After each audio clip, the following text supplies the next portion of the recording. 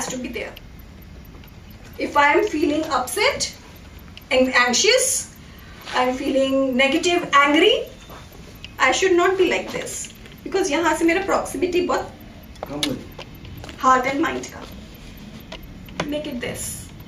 Automatically you'll observe that this thing, cer- certain thing that has changed. Intensity. Negative thought hai, it's okay. But intensity will change. And एक बारी intensity कम हुआ, I have the control over it then. So right these days, if you can just recall and observe, when we do WhatsApp chat or Facebook chat, we are like this. And just recall the emotions that you may have while watching some Facebook video or doing a WhatsApp chat.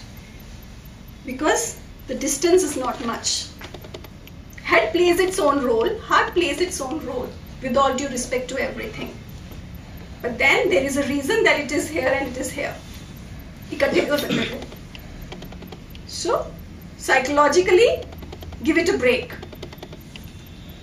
So, in life also, whenever you feel that you are tensed, just sit straight, smile, and इसका distance दूर कर दो. No, but what's the logic behind this? Great. Thank you for asking this question, Arush.